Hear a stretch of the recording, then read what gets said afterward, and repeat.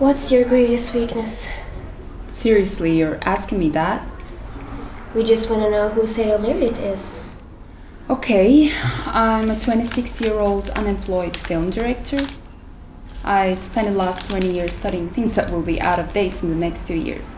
And my parents, hell, everybody, promised that if I studied a lot, I would get a good position in a good company. And now I'm competing with them for the same jobs, and I'm sure not directing movies.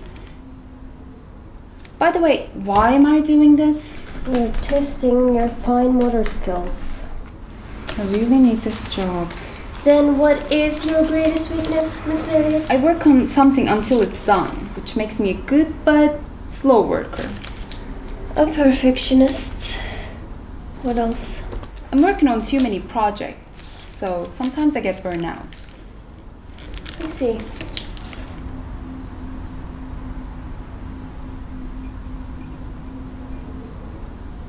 Then what is your biggest strength? My ego. Having an ego is like having an itch. It's a driving force. It makes you work harder, like try new things and learn new skills. It makes you struggle to become the person you're pretending to be. Are you pretending, Miss Lariat? You seem almost painfully frank to me. I have no intention of lying to you. I'll put that down as a strength then. What is your biggest accomplishment? I guess my last film. The critics would not agree. And I think they shouldn't. The movie was mediocre, but I learned a lot, met great people. To me, that's an accomplishment. I'm getting better. If your work is so mediocre, then why should we hire you? And if we do, how long are you planning on staying with us? I have a potential. You hire me when I'm still young and let me grow with you.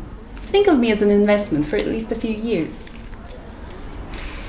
Well, you speak with such authority, but your work doesn't seem to match your promises. You're still young and inexperienced. You're right. I can't change being young and inexperienced, but I'm willing to learn.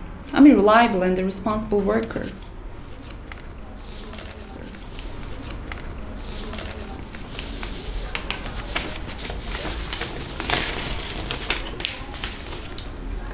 Um, after your last movie, you disappeared for a few months? Not exactly reliable or responsible. What were you doing? I was taking care of some personal matters. Well, it seems that you abandoned all your projects and cut all your ties. Would you care to comment? No.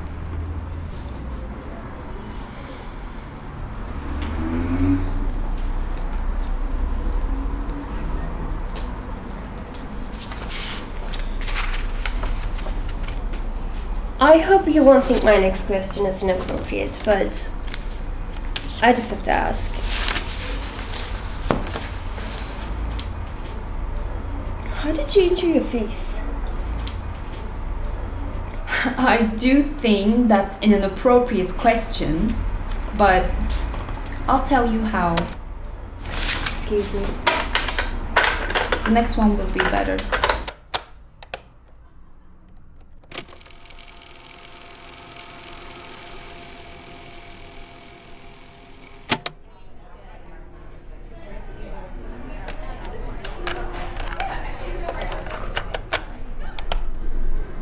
What's your greatest weakness?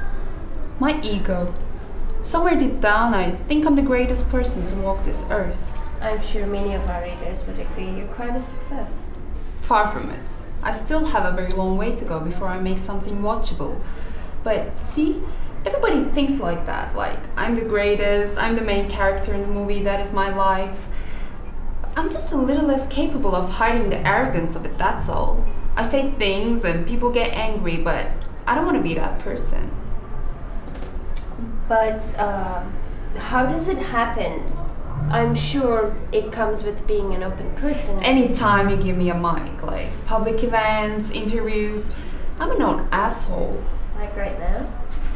I mean, you have to admit you're kind of notorious. considering all your controversial statements and everything. You're hoping for one, right? Well, it wouldn't hurt. we are looking to keep our readers interested. And I'm sure you do the same for your viewers. I guess we must all be best at what we do. I'm a director. I wouldn't be able to do my job without a huge ego.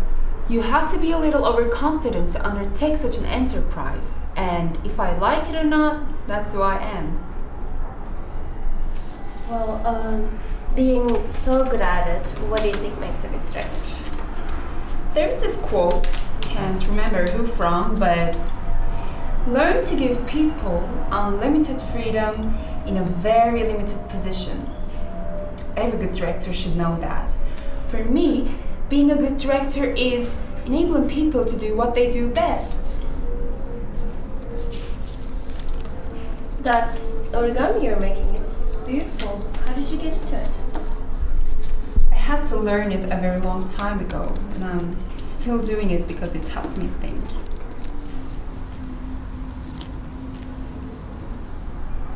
Mm, would you consider yourself an artist? Artist is a dirty word where I come from. It means a beggar or a slacker or a martyr, like someone who suffers for their art only to die poor and alone. So what then? Excuse my curiosity, but our readers have all kinds of theories about you. A craftsman. I have a skill and I use it to make a profit. When I'm skillful enough, my work could be considered art, but not before my death. You studied politics and journalism, but now you're making feature films. One would assume you would get into documentaries. One would, yes. And I do them sometimes, I mean, if I'm interested. But I believe it's easier to influence people with fiction films. I mean, influence for the better, of course. What do you mean by influence? I, I'm sure you don't mean manipulation, but it seems like a recurring theme with you. I would say I try to guide people, like point out things. You don't make people laugh, you allow them to laugh. People want to feel something, and that's why they go to the cinema. Um, your last movie, it was a little bit of a flop. I mean, the critics loved your earlier work, but doesn't the rawness cut it anymore? Somebody said to me that I'm young and inexperienced, that my work doesn't deliver what I promise. Yet, I'm aware of that and can't sleep because of it, but that's the nature of our work. We're all trying to close the gap between our work and what we deem to be good. So, how can you disappeared from public life for a year after your last movie? It caused quite a stir. Let's just say I took some time to ask questions. What did you discover? I'm a needle on a broken record. I jump around but never find my groove. Most people live for tomorrow, but I live in this moment, and it's the only way to seize the day. Is your absence connected to your want? It's a symptom. Do you mind telling our readers how you got it? Because the speculation. You can't exist in this hell without damage. Well, then it will interest our readers why you believe it. And that's all the time we have. See you in a sec. What?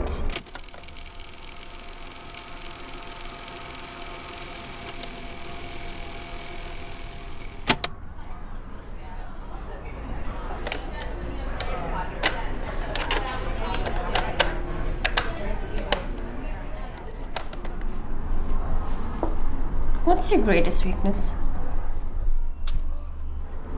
I'm sick of the questions. What do you want me to say? I don't know. Just talk to me. How many times did we do this conversation? Hundreds? So you're bored with me? No, you don't get it. I can't take the interrogation anymore. Nobody's making you. It's like a fucking psychiatrist. You wanna tell me about your mother? You want me to say that I'm an egoist? a self-emote asshole, that I don't really care about people, that I'm sorry.